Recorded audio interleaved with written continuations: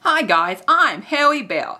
I live and work at Frisco Public Library on the second floor. My job is to help Claudia with family story times on the third Saturday of each month. I visit with everyone at the beginning. I sing a really good song that I wrote myself, and then I listen to Claudia show how reading, singing, and dancing can make learning fun.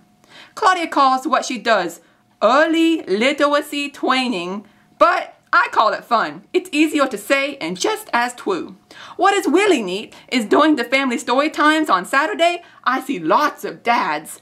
It's great to see an entire family visit me at the library, and I know everyone comes to see me. I also know that you want to get to know me a bit better because I'm a very interesting belle. So here are two things you might not know about me. My birthday is January 13th.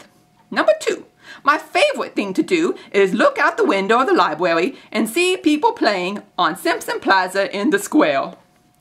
Well, getting to business, I have three books I want to recommend to you today in this blog. The first one is the most recent book that Claudia and I shared together called Pete the Sheep Sheep by Jackie French. It's great! It's a story of a guy named Sean who instead of having a sheepdog has a very polite sheep sheep named Pete. They are not accepted by other sheep shearers and sheepdogs, so they decide to try something new. And it's hilarious! I can't wait for you to read it! My second book I would like to recommend today is Cat Secrets by Jef Czekaj, I think. It gives you tips on how to be a real cat, which is not as good as being a wheelbarrow like me, but it's still pretty good. The last book I want to tell you about is More Bears by Kenn Nesbitt. You can't have too many bells in a picture book, or can you?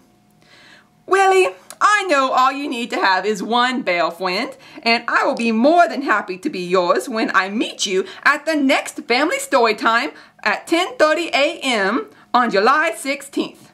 I'm going to tell you a secret too, because we're almost friends.